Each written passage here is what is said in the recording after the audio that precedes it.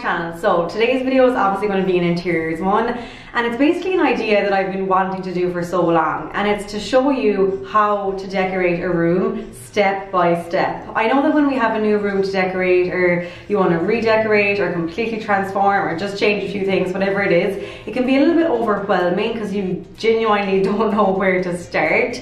So I'm actually in the process of turning my home office into a new dining area because we're moving the office into a different room in the apartment. So I figured while I was doing it, like in real time, I would actually show you the steps I'm taking from clearing it out to ordering the things and everything in between. I'll show you my five step process and hopefully it will help you too and uh, make things way less overwhelming. So obviously I won't be able to show you the end result today because as you can see we're very much at the before but I'll show you the exact process and then in a few weeks time I'll show you the end result in a different video. So here are the five steps.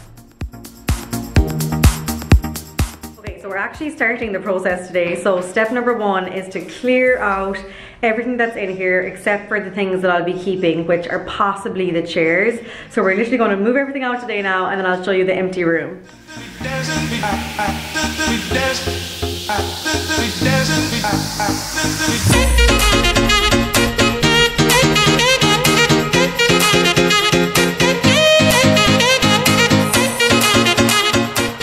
That is everything out of here. Um, so straight away that gives me a better idea of the space. I mean, sorry, it's so echoey. it's so empty now. And then this just gives you like the kick you need to kind of get the ball rolling. So if you do have a room that you're transforming, sooner than later, clear it out and find places for everything and then you can start the new design.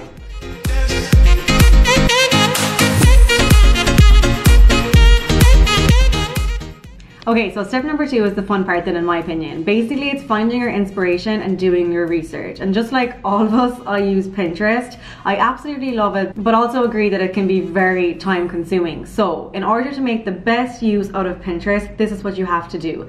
You only pin images and find images that mirror your room design and shape. So I don't want you pinning images of these beautiful bedrooms that look nothing like your bedroom. Not talking about what's in it, like not the bed or the table or whatever it is, but just the shape of the room. Just find images that are the same shape as the room that you have. And then that will give you such a good idea of what you can do with your space.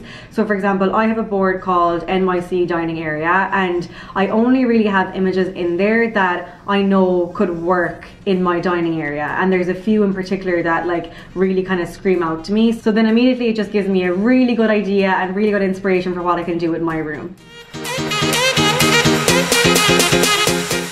Okay, and then as soon as you kind of have your inspiration found and your research done, the next step is to make a list of every single thing you need for the room. And I mean down to the plant, to the candle, whatever it is. Make a really comprehensive list of everything that you need and then you can start budgeting.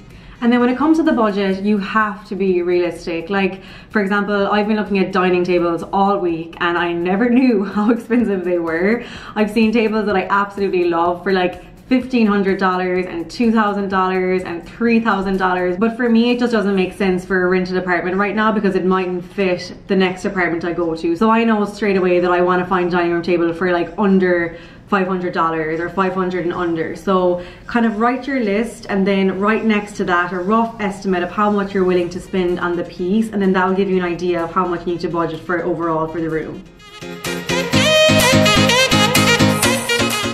And then when you have your list made and your kind of like rough estimate budget ready to go, the next step then is to really ask yourself, okay, what could I actually DIY if you're into that? Um, even if you're not into it, don't knock it before you try it. I love DIY and I've done lots of DIY in my apartment and literally saved hundreds of dollars. So always when I make my list of a room and when I kind of have to start from scratch, I look at everything and I ask myself, okay, what could I actually DIY or like what could I do a little bit cheaper and then that cuts my budget and cuts my spending down so much. So my trick for this is to go on YouTube. So if you want a white and gold dining table, like I was looking them up, they're 700, 800, 900 and above dollars. But you could go to Ikea, buy a plain white table with plain white legs and spray paint the legs gold and literally save hundreds of dollars. So there's so many good tutorials online on YouTube. So search what you're thinking and I guarantee you you'll be so surprised at how easy things are and how much money you can save. So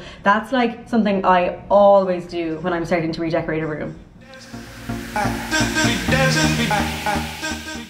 Okay, and then if you've got this far, you were doing really well. You were at the end of the to-do list. So basically, once you have all that done, all the research, all the kind of like budgeting, that side of things done, the next thing to do and the last thing to do is to either go online or go into a store and really make those orders. And I will say, when I moved into my apartment first, I it was kind of my first time doing up an apartment and I was a bit new to it. And I really didn't realize how long things take to arrive. Like, couches or dining tables or any big pieces of furniture can take months to get to your apartment or get to your house. So do this before you're ready. Because if you want your apartment to come together quickly and you just really want to get it done get those orders in fast. So go online like go onto maybe three or four different websites or go into three or four different stores. Don't delay too much.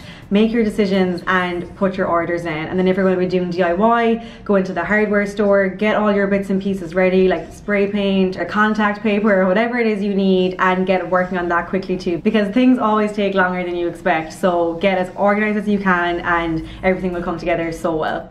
All right, and that is everything. I really hope that was helpful. Um, I'm kind of halfway through those steps in my own room now, so hopefully that will come together and I'll be sure to show you the end result in a new video.